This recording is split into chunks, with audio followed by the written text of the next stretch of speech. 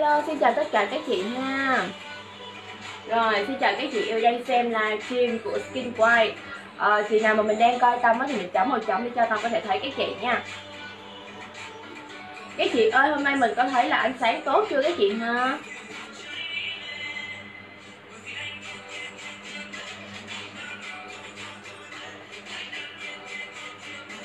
Rồi, chị nào mình đang coi Tâm thì mình chấm một chấm cho Tâm có thể thấy các chị nha các chị ơi. Hôm nay là chúng ta sẽ tiếp tục vào xem livestream của em để mình có thể